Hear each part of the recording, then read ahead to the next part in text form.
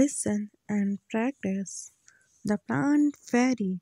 Last Sunday, we went to a garden in the neighborhood. We played hide and seek, chupan chupi, and antakshari. We had a lot of fun after some time. Didi said, Let us play a new game today. We had played this game in the camp last year. I will become a plant fairy. The plant fairy will call out a name of something and you all will have to touch it. it. The game began. Didi said, The plant fairy asks you to touch a plant.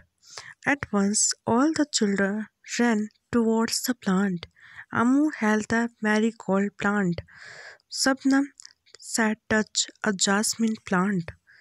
Michael touched a mehndi bushes. Dayaram caught hold of neem tree and stood there. Didi said, Very good.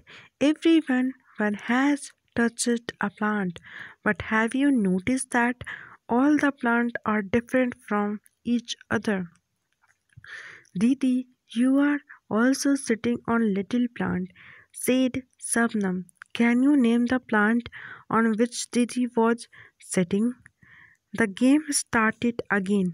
The plant fairy now said, Touch a tree which has either a thick or thin trunk. The children ran again to touch tree with thick or thin trunk. Have you seen a tree with a trunk as thick as the one shown in the pictures? Michaels found the game. Michael found the games very interesting. He thought how lucky the fairy was. She could order everyone around. Now I want to be the plant fairy, said Michaels. The children laughed around. A lord, a boy fairy, they were now ready to take order from the new plant fairy. Mrs. said, Get me some leaves quickly. But remember, you are not to pluck the leaves from the plant, the Didi. The teachers ran to collect the leaves which were laying on the ground.